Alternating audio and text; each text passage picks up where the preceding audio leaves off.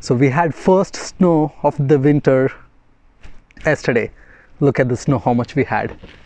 Yeah, it's almost uh, 15 inches, I believe. So, okay, I'm, I'm not going to talk about winter in Canada and Ontario, but today, you know what, I'm going to uh, talk about um, different real estate strategies that work in Ontario, Canada, Windsor. So, uh, stay tuned.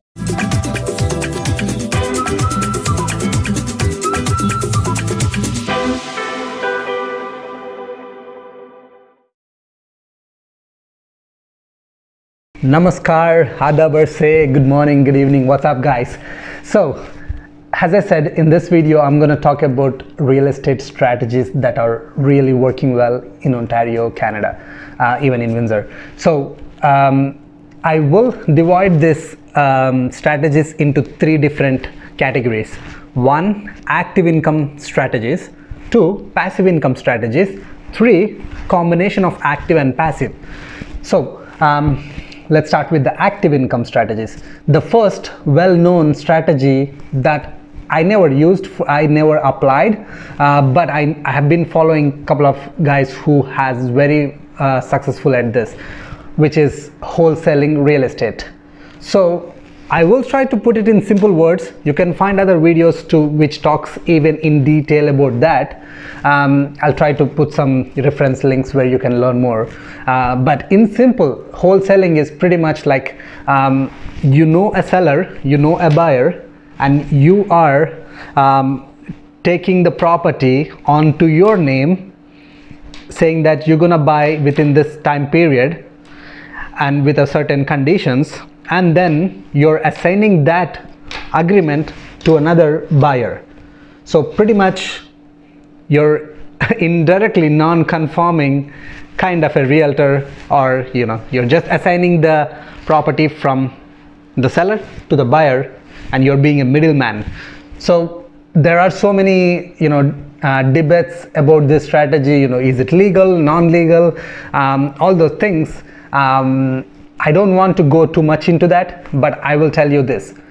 It's definitely legal. There are people who is doing it in a legal route, but there are also people who has done non-legally, got into trouble. So I would strongly recommend learn what is the right way talk to the lawyer ask him how you can do structure this without getting into any trouble so definitely it's it's it's legal just need to follow the right rules so that you you won't get into trouble. But the good thing with this strategy is pretty much you're not taking any realtor exams going through months um, and then you know making the money. In this case you can make a ton of money by having a, a huge database of buyers and having a database of sellers and finding properties. Um, there are also many ways you can find properties for prop for people who are selling properties. For example like kijiji uh, or for sale by owner boards or there are many other ways you can find the sellers and help them to solve their problem by selling their property and help the buyer to find the right property. Now you're taking the cut for helping both the parties. So that's wholesaling is. If you do for example like you know i I have seen that people get paid like from 10,000 to you know 50,000 or even more uh, depends on you know how sweet the deal is. So if you sell if you do that like for like 10 properties in a year you're pretty much making 100,000 uh, like roughly. So it's a great way to build, build active income. That's strategy number one. Strategy number two which is been for ages which is flipping. You have seen so many HGTV shows and all the shows uh, which talk about flipping. You take an old property but in this case you buy it. So pretty much you buy either from using your money or private money or whatever the source that you have you're buying a property that is in a um, you know rough shape or maybe the kitchen is outdated or you know you can add some extra bedrooms or add a basement suite or you know um, add an additional bathroom or additional um, you know whatever things that people looking for that you're adding value to the property and go sell it for profit. So you buy renovate and sell it for profit for example if you buy a property for 100000 you improved you put another 30000 into it and then you sold it for 200,000 so now you made that 70,000 profit. So that's pretty much flipping is. So the advantage with this one is it's an active income. So if you do like if, if you're aiming for 20,000 profit from one property then pretty much you have to make sure you buy a property for like maybe 140 um, put another 20 grand into it and then now you have a, a 40,000 profit minus uh, realtor fees or you know any other fees including including lawyer fees you will be profited for 20,000 so this is a great strategy to build active income because you know again the active income the whole purpose is you know to make extra money. And this is where the, the downside of active income is you're not really building any wealth. You're just swapping your time for money. So you're you're doing some work and getting the reward for it. Again it could be less money or more money but you're actively performing something to get some money. And it's a great way to start. For uh, for example like you know it's, it's a great business. Some people actually just do this as a business. It's active business. Um, it's a it's a great way to build money. Realtor. Becoming a realtor is also an active income you're learning the real estate. That's the reason why i became a realtor. I quit my job because realtor is the best way to make active income. And while learning all the industry information like you know you're in the game full time. So realtor is definitely one of the best way. Again what's realtor?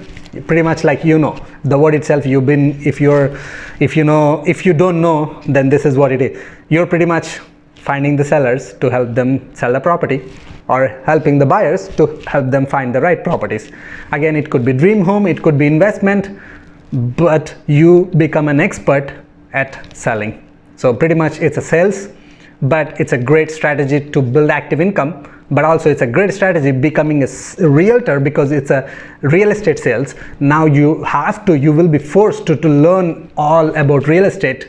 Then that will let you make active income and put that active income into passive income. That's what i'm doing right now. I'm making my active income and at the same time i'm keep on investing in the right properties to build that wealth. But the next thing that I'm going to talk is the passive side, passive category, passive investment strategies is a great way to build wealth. So the reason I say that the wealth is built in passive because you know now you swap all your hard work and you know now you sold the property. Pretty much someone else will rip the rest of the benefits. You're taking half benefit. Again in some cases it does work but in other cases you know it's good. Now you go look into the act passive side as well. So now the third strategy is passive income strategy. In the passive income strategies i'm also actually dividing into subcategories. Um, for example one student uh, passive income strategy and um, um, single family strategy and multifamily i will get into details so first uh, passive income strategy would be buy and hold.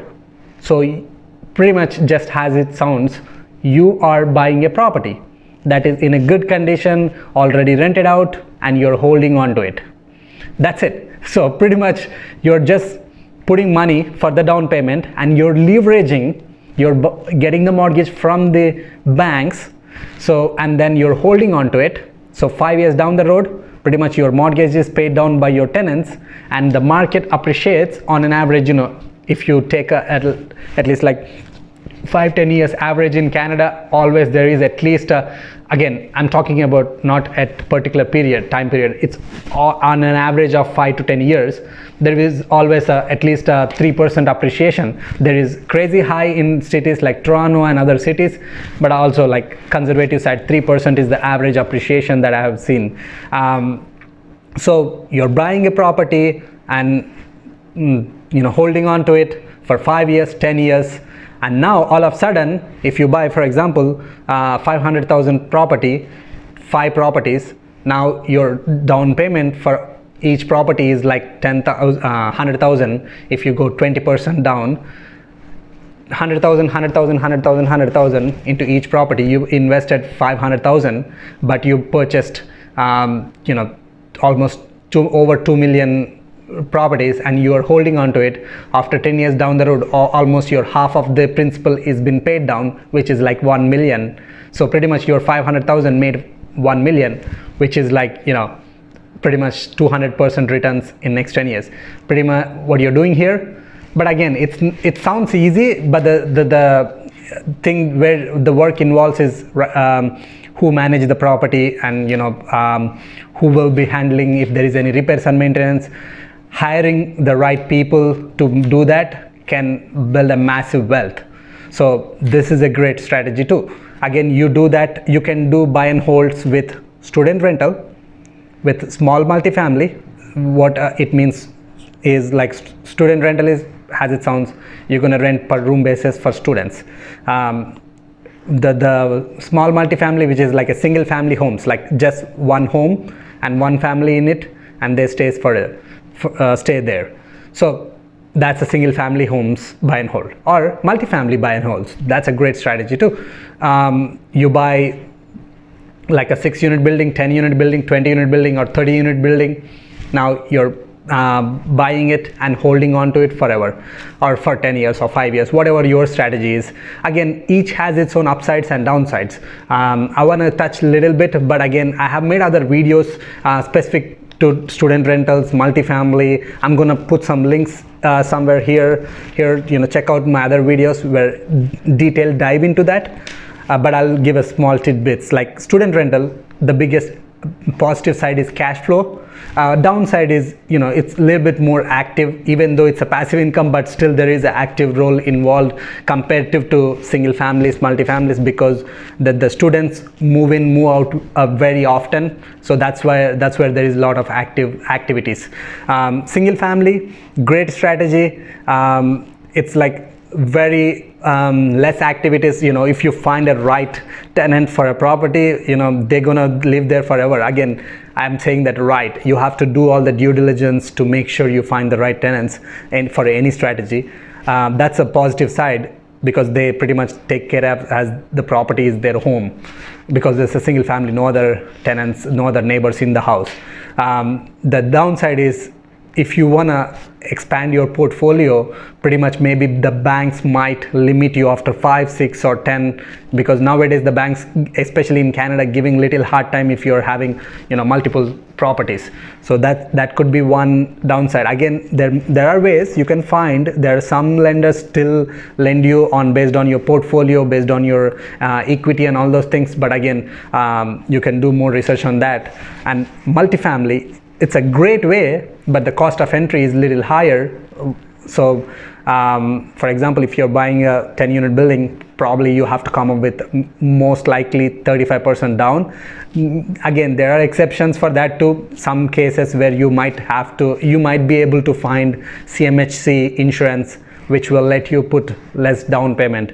Again, um, there is also another strategy which is in between of small fam single family and multifamily which is small multifamily below four units sometimes below six units uh, could also be considered as a residential property where you can put 20% down and have all the residential advantages. So that's also another strategy for good buy and hold. So these are all four are great strategies um, but the next next category which is combination of active and passive is my favorite strategy which is BRRRR so you might have seen more i have made many many videos actually on the BRRRR strategy. This is my the best favorite one. Um, you can do that for all four categories. Like you can apply the BRRRR strategy for student rental you can apply the BRRRR strategy for single family you can apply BRRRR strategy for small multifamily you can apply BRRRR strategy for um, large multifamily. Again everything has its own upsides and downsides. I'll try to touch a little bit here and there but i'll explain a, a basic point what is BRRRR so why it's a great strategy? Because you're combining the active and passive side. So what happens is you're buying a property for example um, 150000 and you're putting another 50000 into the property to do some fixings like the flipper like the active side. So you purchased the property you did renovations you did all the active work. Now you haven't sold the property you are going to refinance the property. So you know if you have got the private money or if you had a uh, all cash into the property or if you had a, a first mortgage before for you know um, lower amount now after doing all the renovations because you forced the appreciation you added some value into the property now you go refinance the property. So now you can pull almost 80% loan to value if you do it right you can pull all your money out including your down payment including your renovation cost. So that's why i say the combination of active and passive. So you did the active work and you refinanced it with the right you know way of doing it and now you put all your money back into your pocket and some cases actually one of my BRRRR uh, if you saw my video this video I have actually got extra 10,000 for my BRRRR after my renovations after my down payment. So that's my active income. But the passive side is now you haven't sold the property. And again the BRRRR strategy you have to be very careful by doing the right properties because you should be in a position to after refinance it should make passive income. Like it should be uh, cash flowing. That's very important to make sure with the BRRRR strategies uh, or even buy and holds. You have to make sure the property will cash flow. Doesn't matter if it's high or low. Again depends on your unique situation. You can choose you want high cash flow properties? Go for student rentals low cash flow properties single family or medium size like you know small multifamily or large multifamily. But again that's something you play around but make sure you have some cash flow because you know if something goes wrong if the market turns around now you will be in a situation where you cannot pay if you cannot um, you know pay the expenses then you will be bankrupt so just be careful with those and also learn as much as you can because uh, this video is like a lot of uh, um, things I have discussed. I know for especially for newbies, it's it's a lot of information, especially if you haven't done. But again, feel free to ask me the questions in the comments below because this is a lot. I, I know, especially for newbies. If you're a newbie, don't hesitate to reach out to me ask in the comments below or email me. Um, if there is anything i can help you or you know other people in the community can help you as well. So comment below asking any questions you have. And also let me know which is your favorite strategy. If you've been investing for a while uh, let me know in the comment below. So guys that's it. This is a it's, it's a lot more than what i thought but you know active passive active plus passive make sure whenever you do some strategies whenever you apply always don't just look at others look at your unique situation. What fits you